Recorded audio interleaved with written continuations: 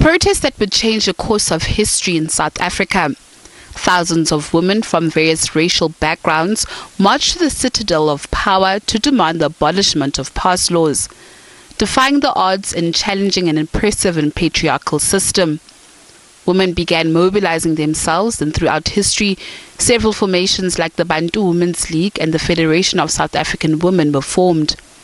Those who led 20,000 women to the union buildings remember the day that would be written in the history books of the country. We went into those grounds, we marched up to the uh, uh, Prime Minister's uh, office. So for that day, the, women's, uh, the women uh, uh, achieved freedom, confidence in themselves, that they could go where they want to go. It was a multitude of women, it was an army of women, and those were the women that marched that day to the union buildings to voice their opposition and their disgust and their indignation against the uh, Dompas, as it was called that day. And they were tired and they said, enough is enough. The memories is women coming from all over the country uh, under difficult uh, circumstances, but uh, determined to get there, and they got there. I can't even describe how was it like to me because that day, I, to me, I didn't even know whether I was Mary or Jane or Jack or Jim.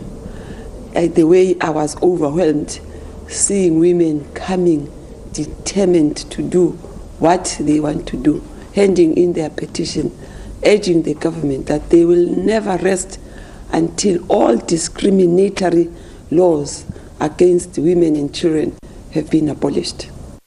Decades later, the struggle continues. South African women are faced with different struggles like the brutal killings of women and children, the triple challenges of poverty, inequality, unemployment, gender parity, and lately adding to that list is the novel coronavirus. Through some of its efforts, the ANC Women's League has managed to achieve 50% of female representation in ANC structures and government. Last year, they accused government of being lukewarm in dealing with issues of gender based violence, but believe more needs to be done to beat the social ill. The issue that is one of the issues that are on top of the agenda of the African National Congress is the issue uh, of uh, gender based violence and uh, femicide.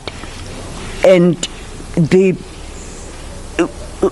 at least uh, for the first time in the uh, last NEC of the ANC, we've had uh, someone agreeing with us that um, the issue of or violence against women and children must be declared a state of disaster.